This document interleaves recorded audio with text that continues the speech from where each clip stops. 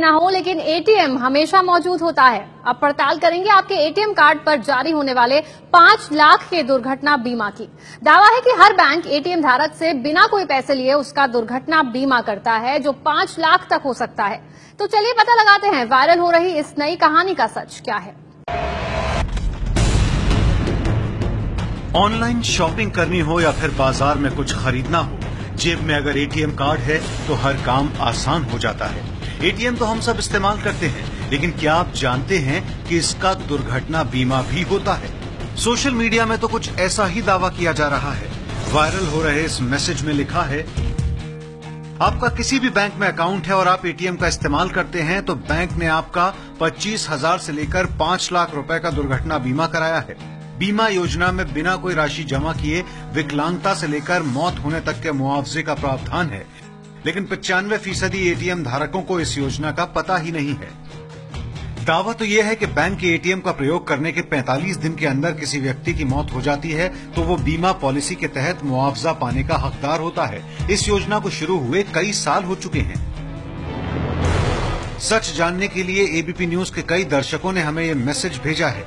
ABP news ने viral हो रहे इस मैसेज की पड़ताल की तो सामने आया कि अलग अलग तरह के एटीएम पर तय मुआवजे का प्रावधान है। मतलब ये कि अगर आपके पास प्लेटिनम कार्ड है तो आपके कार्ड पर दो लाख रुपए का दुर्घटना बीमा का प्रावधान है।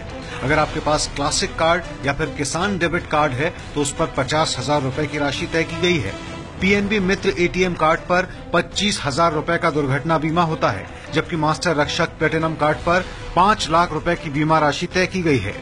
दुर्घटना बीमा की यह प्रक्रिया क्या है और मुआवजा कैसे मिलता है, वो जान लीजिए।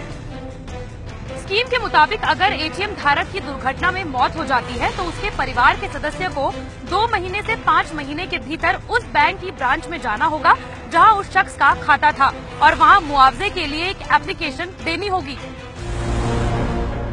अगर आपके पास किसी एक बैंक में एक ही अकाउंट हो या फिर उस बैंक की दूसरी ब्रांच में भी अकाउंट हो तो भी मुआवजा आपको किसी एक एटीएम पर ही मिलेगा, जिससे पैसे का लेन देन किया जा रहा हो। मुआवजा देने से पहले बैंक ये देखेंगे कि मौत से पहले पिछले 45 दिन के भीतर उस एटीएम से किसी तरह का वित्तीय लेन देन हुआ था या नहीं। बैंक में अकाउंट खुलने के बाद जैसे ही एटीएम आपको मिलता है, बीमा पॉलिसी लागू हो जाती है। बैंक की तरफ़ से बीमा करवाया जाता है, जिससे एटीएम धारक की मौत होने के बाद परिवार को मदद मिल सके।